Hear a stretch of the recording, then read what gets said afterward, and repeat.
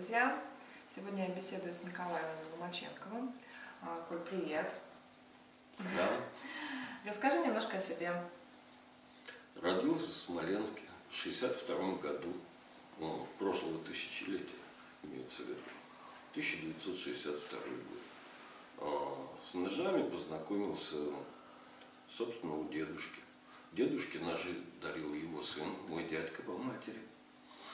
И тогда они меня, собственно, и очаровали, потому что это было что-то вроде маятника, который показывают гипнотизеры. А вот этот вот блеск ножа, это было что-то особенное. Видно, тогда и попал.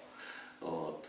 А свой первый собственный нож сделал лет в 14 или 15 э, в гараже у папеньки из старенького ржавого а, здоровенного штангенциркуля. Вот такого выпиливал его напильником долго, но как-то справился. Так появился первый нож.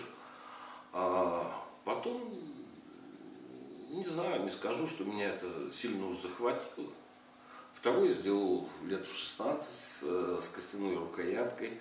И были, знаете, такие наборы для выжигания и в то же время для гравировки по металлу. Это детские наборы, они были в свободной продаже. Я там что-то рисовал, какие-то деревца, каких-то конников, не помню. Но что-то такое интересное.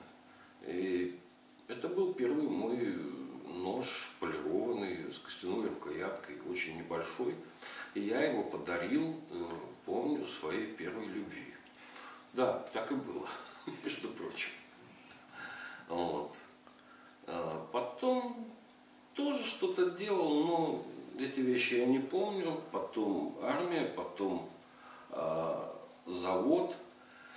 А, и когда на заводе я познакомился с металлом профессионально, вот тут меня зацепило капитально.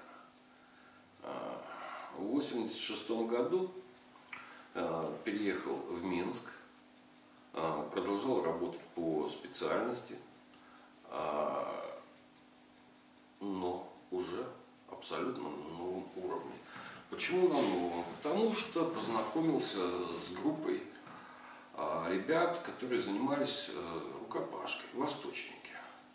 У них были свои нужды, и я постепенно, занимаясь с ними, начал для них что-то делать. Чисто учебные вещи какие-то а, для тренинга и так далее. Потом перешел э, к глиномеру, ежу, понятно, это было ну, имитация как- какой-то японщины, китайщины, но тем не менее это, я получил свой опыт в этом деле. А, И когда прикладные вещи перестали быть интересны, невозможно же а, бесконечно повторять, повторять, повторять себя. Я сделал свой первый складной нож, наверное, году в 90-м или в 91-м. А, Замок был лайнер.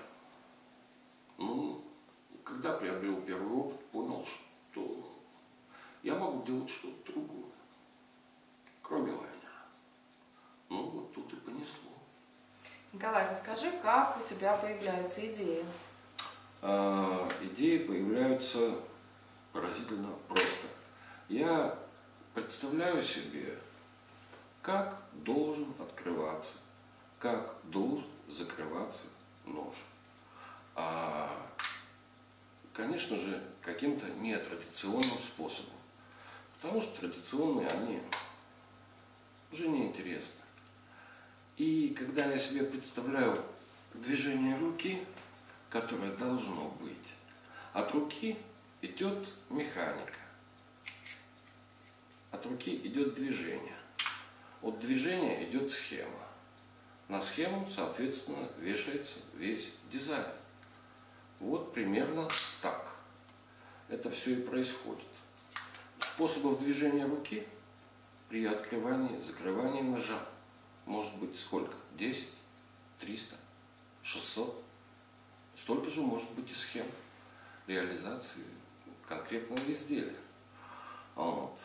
И поскольку схемы эти достаточно сложные, времени на них тратится очень много, как на обдумывание, так и на реализацию.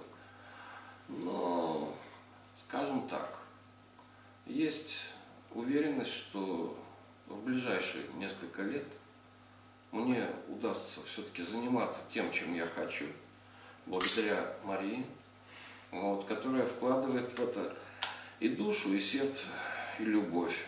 Она любит нас жить так же, как и я. Может быть, больше, но по-своему. Вот где-то так, ребята. Спасибо. Спасибо, Николай, за интервью. Мы еще будем беседовать и рассказывать вам о наших проектах.